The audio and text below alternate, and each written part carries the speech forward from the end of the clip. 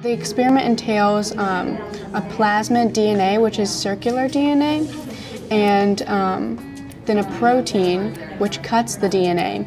So what we're trying to do basically is get the DNA from a circular strand into like uh, multiple linear strands. This experiment is going to be good for future research. You know, we gain knowledge. This is stuff we can use. How do plants grow in space? How do plants grow on Earth? How to change that to make it better.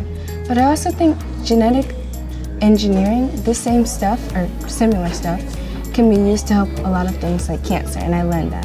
A lot of people don't know about these things and they don't really understand it, but when they do these things, they understand and they get it and they like it. If they like it, we can raise up a new generation of scientists and astronauts and people contributing to different things. And they get to open up their knowledge and minds about things. I think that's, I think that's very important.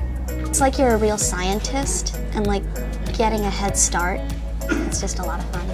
If we ever like plan to like inhabit Mars, like that'll really help. Like if there's medical emergencies or like people get sick or have cancer, that will definitely help.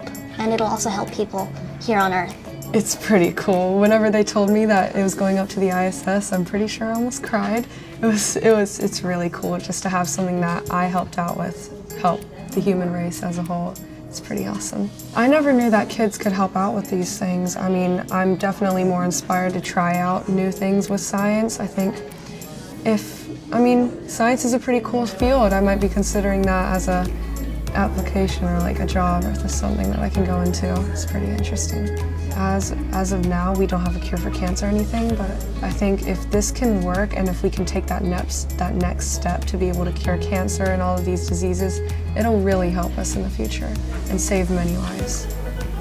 The most rewarding has been seeing these kids take off because watching them work with the, in the lab was really great. I mean, to just see the excitement in this.